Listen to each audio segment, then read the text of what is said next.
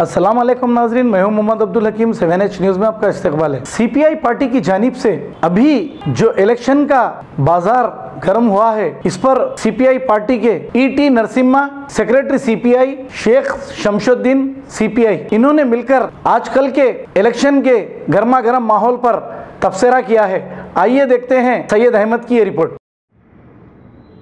तेलंगाना की हुकूमत चार साल, तीन महीने होने के बाद में, आठ महीने पहले कल असम्बली डिज़ोल्व करके केसीआर साहब, अभी मैं एक दो तीन महीने में इलेक्शन को जारूम बोल के ऐलान करा।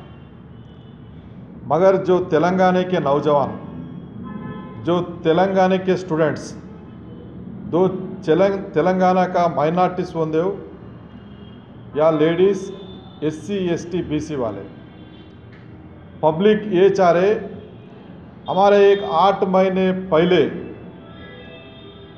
एक निज़ाम के टाइप में रूल करे सो वाला हिटलर मुसोलिन के सरकार जो कानून को डेमोक्रेसी को नहीं माने से आदमी चले गए बोल के कई जगह पर जश्न बना लिया। ये चार साल में केसीआर तो वायदा बहुत करे, मगर उसमें अगर कैलकुलेशन करे तो एक ट्वेंटी परसेंट भी फुलफिल नहीं करा केसीआर। उन्होंने आज एक बात हमेशा बोलने वाला, ये एससी, एसटी लोगों को तीन एकड़ ज़मीन बोला, माइनॉरिटीज़ को 12 परसेंट रिजर्वेशन हम तो असेंबली में डिजॉल्व असेंबली में रख के पार्लियामेंट को भेजे बोला। मगर आजकल उन्होंने 105 कैंडिडेटों का लिस्ट अनाउंस करने के बाद में, वो लिस्ट अगर चेक करें तो के सी आर कैसा आदमी है मालूम होता। उसमें माइनॉरिटीज़ को एक दो आदमी को दिए। अगर सही भी के सी आर को है, माइनॉरिटी लोगों को 12 परसेंट देना बोलो तो तुम्हारे हाथ में ऐसे सीटा तो दे सकते 12 परसेंट सीटा। मगर दो सीट दिए।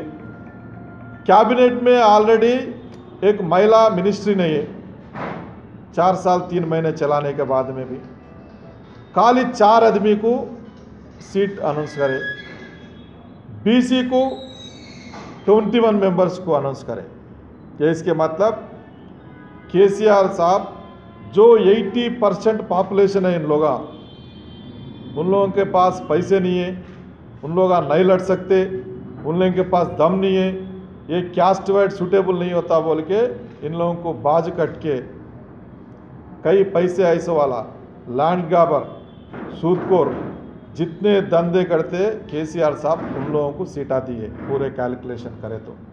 पहले जब कांग्रेस तेलुगु देशम हुकूमत में ऐसो देखते रहिए सेवन एच न्यूज़ आपकी आपकी आवाज़।